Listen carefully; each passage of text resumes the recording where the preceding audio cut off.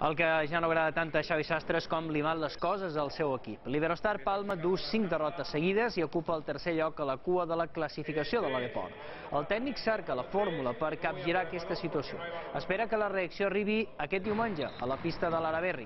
Avui Sastre, d'alguna manera, s'ha desdoblat. Ha parlat des del seu vessant d'entrenador i també des del director esportiu. Jo que som el director deportiu del club, no estic content amb l'entrenador. O sigui, jo miro l'entrenador, dic, què estàs fent? Algo estàs fent malament, que l'equip no funciona.